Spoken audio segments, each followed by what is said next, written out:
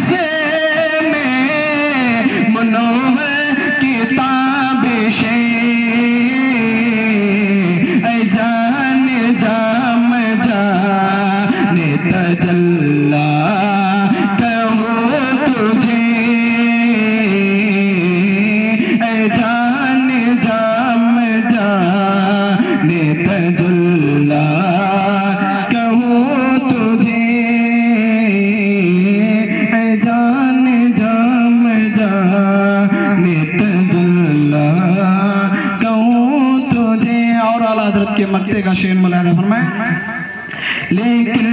رضان خط میں سخن سے پکل دیا